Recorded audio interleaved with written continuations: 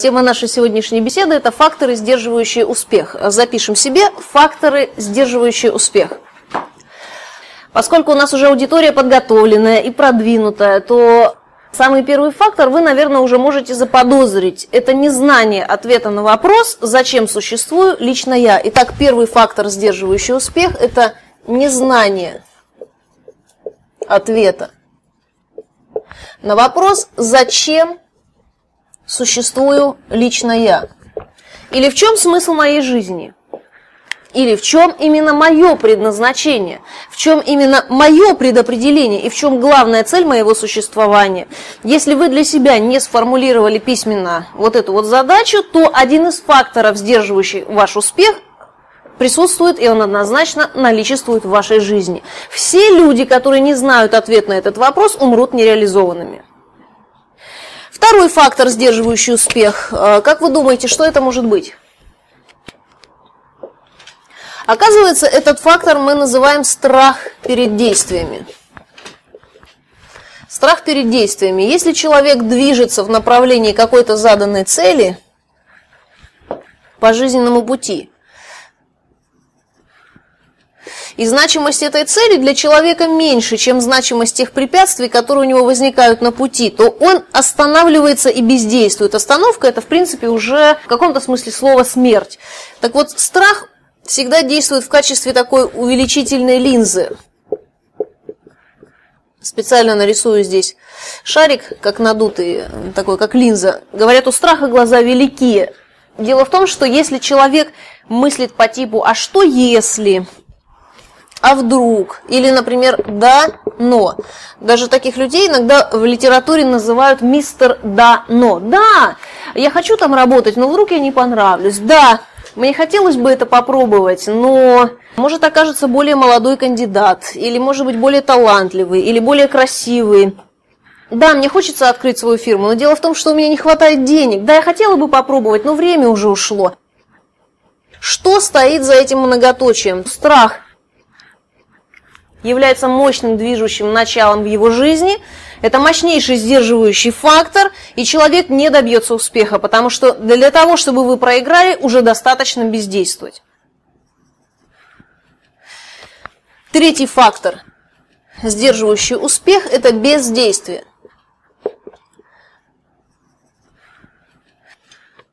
Человек знает, но у него фактор D отсутствует по определению, он все время откладывает на потом. Еще один фактор мы назовем неверие. Запишем себе этот фактор как отдельно существующий агент неудач. Отдельно существующий агент неудач – это неверие.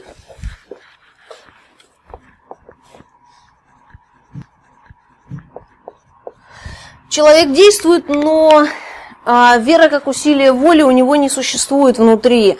Он допускает все время сомнения он колеблется. Вот есть такая поговорка, сомневающийся подобен волне ветром колеблемой. Вот если вы такой человек, вы вроде бы и нацелились, вы вроде что-то и делаете, но внутри вот этот червяк, который постоянно заставляет вас оглядываться назад или прислушиваться к мнению людей, которые говорят, не получится, время уже ушло, образование не то, внешность не соответствует, связи не хватает то вы тот самый колеблющийся человек, которого шатает из стороны в сторону, и малейшие неудачи – приведут вас к падению.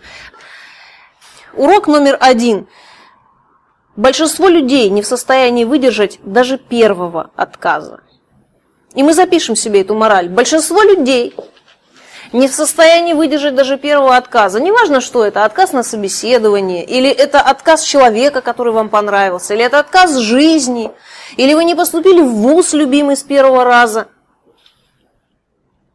И очень часто секреты успеха скрываются в упорных, а не в правильных и безупречных действиях. Запишем себе, что упорство важнее правильности и важнее везения. Потому что везение, оно эпизодично и случайно, а упорство дает нам определенную систему. Еще один фактор, который приводит людей к неуспеху. Это отсутствие любви и отсутствие внутреннего благородства намерений. Любовь – это не слюни – И это не такое, знаете, эмоциональное состояние, когда я добрая и пушистая. Любовь – это определенные действия созидательные, направленные на людей. Для этих действий нужен определенный потенциал, определенные силы душевные. И вера нужна. Многое нужно для того, чтобы проявлять к людям действия любви. Кроме того, фактор Б, запишем себе, это фактор внутреннего благородства намерений. Если у человека есть потенциал, возможности, цель, план, активные действия, даже, может быть, фанатичные действия, тем не менее, он будет погребен под обломками собственной империи, если это такой типаж, как Гитлер или Наполеон. Потому что когда действия человека направлены на разрушение, он не может быть успешным. Итак, наши цели должны носить созидательный характер. И мы запишем себе еще один очень интересный фактор – незнание специфической информации про деньги. Именно специфической информации про деньги. Когда голодранец начинает интересоваться деньгами, он обычно изучает денежные приметы, что вот надо пересчитывать денежки при луне, дескать. После шести вечера мусор не выносить, а то деньги не будут водиться. Что там еще говорят? Одна женщина мне сказала – когда наливаешь чай и видишь пузыри, это к сплетням, а пена это к деньгам. Нужно брать пену и втирать в теме сразу, чтобы к деньгам. И вы знаете, такой парадокс, но у нее лысина была на теме, видимо, она уже довтиралась в это место, пену. Не поможет вам ни метелка вверх. Очень бывает убого видеть такие, знаете, дома, в которых метелки вверх, стоят денежные деревья, отсканированные купюры висят в рамочке на стене, при этом грязные засаленные обои, облупившийся стол, посуда с таким черным краешком, алюминиевые ложечки и вилочки с дырочкой, принесенные из соседней столовой. Но веничек вверх, фэншуй пространство, понимаешь? Мы запишем себе, что все проблемы в башне, и фэншуй должен быть прежде всего в голове. Не поможет э, вот это вот. Я скажу, что Денежные приметы, изучение денежных примет – это детсадовская стадия в интересе человека к деньгам. Детсадовская стадия. Поэтому, если вы заинтересовались этим вопросом, то бесполезно привораживать, пытаться, знаете ли, деньги. Они не придут к вам. А что же такое специфическая информация про деньги? Какие есть подозрения? Вот куда инвестируют свои средства и время бедные люди?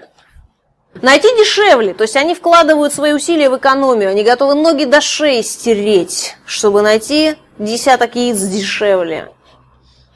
Для них организованы сети магазинов специальные.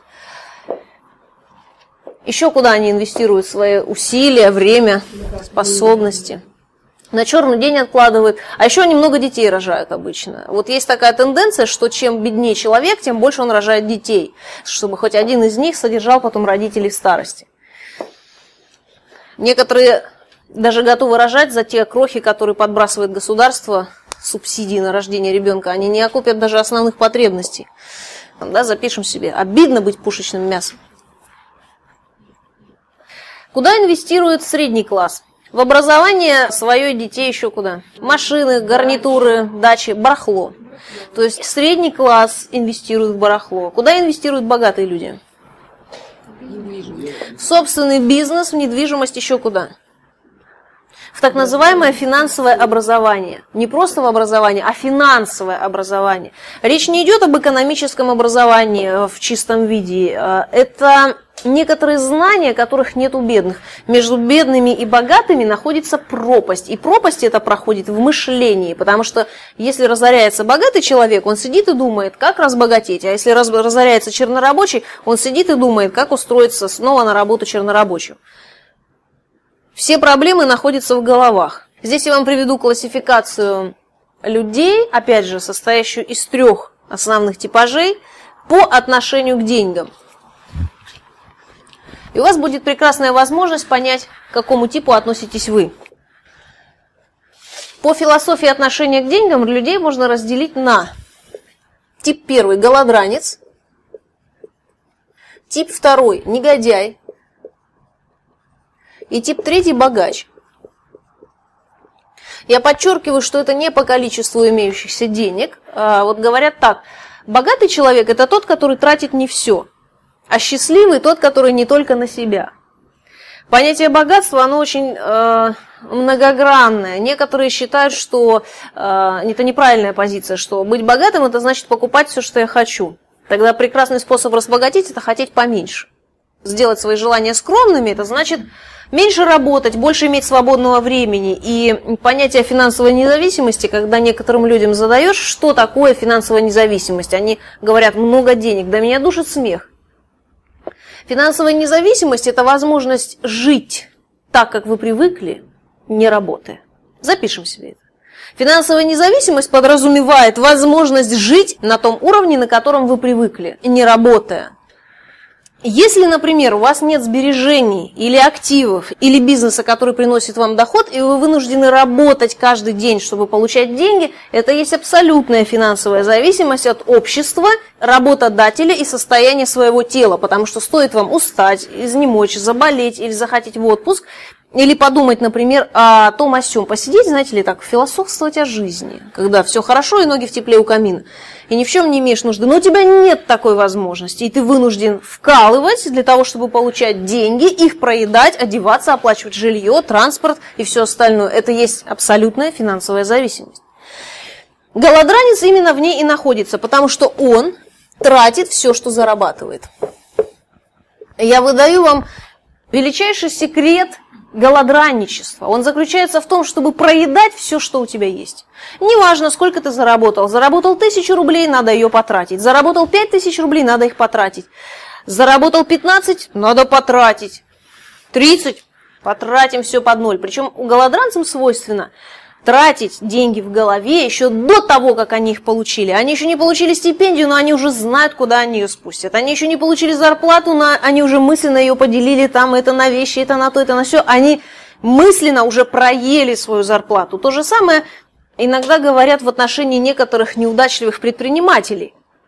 Говорят так, что этот человек проедает прибыль, то есть он ее не инвестирует в развитие бизнеса, а он ее тратит исключительно на пожить. Вот эти вот люди, катятся по жизни вечным финансовым нулем. Они получают доход или зарплату, или там что-то, деньги в виде укола. Получил, потратил, пришел к нулю. Получил, потратил, пришел к нулю. Получил, потратил, пришел к нулю. Получил, потратил, пришел к нулю. До следующей, до следующей порции, до следующего поступления денег. Поскольку через их руки проходят только скромные, очень маленькие финансовые ручейки, согласитесь, на 500 долларов ничего великого не совершишь, то в конце жизни их ожидает вот это. И никаких достижений. Ну, правда, обычно на гроб отложено уже. Гробовые уже лежат. Памятники стоят в гаражах. А все почему? Потому что человек проедает то, что у него есть. И он не готов себе ни в чем отказывать. Он считает, что Откладывать это себя обкрадывать. Если вы встречаете людей, которые говорят, что у них нет возможности откладывать, потому что надо и одеться, и за детей заплатить, и еды купить, и транспортные расходы, и все такое прочее, знайте, перед вами голодранец. Голодранец всегда найдет возможность купить шикарный сотовый телефон. Алло, говори, быстрее деньги заканчиваются. Но у него шикарный телефон. Он нашел возможность купить, значит, у него была возможность отложить. Зачем? Он найдет возможность прокуривать пачку кентов в день, да, это 1 доллар. Значит, он мог бы отложить 365 долларов в году и использовать на то, чтобы поехать в турецкую страну, три звезды на 5 дней. Но он говорит, у него нет возможности отдыхать за границей. У него только есть возможность курить, поэтому мы запишем себе курение – это удовольствие для бедных. Курение – это удовольствие для бедных, дешевое удовольствие для бедных. Негодяй – это человек, который тратит больше, чем он зарабатывает. Голодранец, по крайней мере, честный трудящийся. Если он берет в долг, он старается вернуть. Негодяй – это человек, который вынужден подсаживаться на хвост к другим. Лохотрон, казино, грабеж, насилие, убийство, вымогательство, взяточничество и все, что с этим связано – Желание производить деньги, создавать рабочие места, создавать работу отсутствует, но желание пользоваться очень большое. Надо сказать, что негодяи формируются в основном из голодранцев. И негодяйская природа проявляется у людей обычно в детстве. еще в подростковом возрасте. Люди с тенденциями негодяя запросто ходят в гости поужинать. Они готовы терпеть неприятное общество ради того, чтобы там в гостях поесть салатик. Грустно. Эти люди прожигают свой потенциал, а эти обычно находятся в услужении у других. Мы запишем себе грустную мысль, которая будет для нас являться отрезвляющей. Большинство людей ничего не достигнет, потому что они потратят все свои силы на достижение целей других людей. Большинство людей ничего не достигнет, потому что потратят все свои силы на достижение целей других людей. А почему? Потому что другие люди думали, структурировали, записывали, планировали, анализировали, а ты просто жил. И тебя занесло, куда занесло. Богач – человек, который тратит, подсказывайте мне, меньше, чем заработал, всегда. Умение жить скромнее того уровня, который ты можешь себе позволить. При этом, если человек имеет наклонности богатого человека, он уже студенческие годы откладывает свою стипендию для того, чтобы по окончании вуза распорядиться своими средствами по своему усмотрению. Это не имеет значения, что это будет, приобретение автомобиля или что-то другое. Обычно эти люди уже планируют создание какой-то своей конторы, своего бизнеса. Большинство предприятий, которые сейчас э, люди начинают замечать, вот там какая большая фирма – 100 человек в офисе работает или тысяча рабочих на заводе. А с чего она начиналась? С того, что двое выпускников сняли на имеющиеся у них средства, помещение полуподвальное, поставили там взятый в аренду старый ксерокопировальный аппарат, оказывали консультационные услуги населению, заодно документы копировали, потом еще кого-то себе в помощь взяли работать потом еще, еще каждую заработанную копейку вкладывали, расширялось помещение, увеличивалось количество рабочих мест, а другие трудящиеся приходили на эти рабочие места и говорили, как все плохо. Наверняка у них-то есть деньги, связи, возможности. Другим-то повезло, а то, что я страдаю, это жизнь виновата. Это очень интересная позиция, запишем себе оправдание, это слова, которые произносят неудачники, чтобы быть правыми в глазах своих.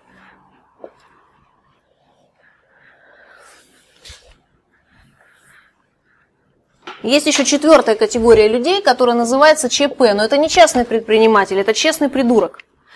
Он тоже тратит меньше, чем зарабатывает, но он копит, при этом не зная на что.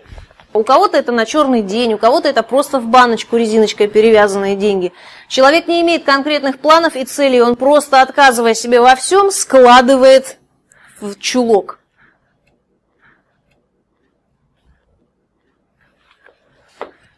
К вопросу о богачах. Запишем себе богатство – это состояние ума. В слове «богач» корень «бог», точно так же, как в слове «богатырь» корень «бог». Произошло от двух слов. «Богатырить». «Тырить» э, в старорусском языке означало увеличивать, накапливать, приобретать. Позже приобрело оттенок «воровать». Богатырь – это человек, в котором много Божьего. Топнул, ножкой по земле, земля и рассталась. И в слове богач все тот же корень бог, а, кстати, в слове работа корень раб. Поэтому, когда человек работает много и неэффективно, мучается и страдает, а денег у него нет, нужно признать, что он делает что-то не то. Или что-то он как-то работает неэффективно, или надо работу менять. В общем, надо задуматься. Если вы стараетесь из кожи лезете изо всех сил, а ничего не меняется, надо поменять место работы.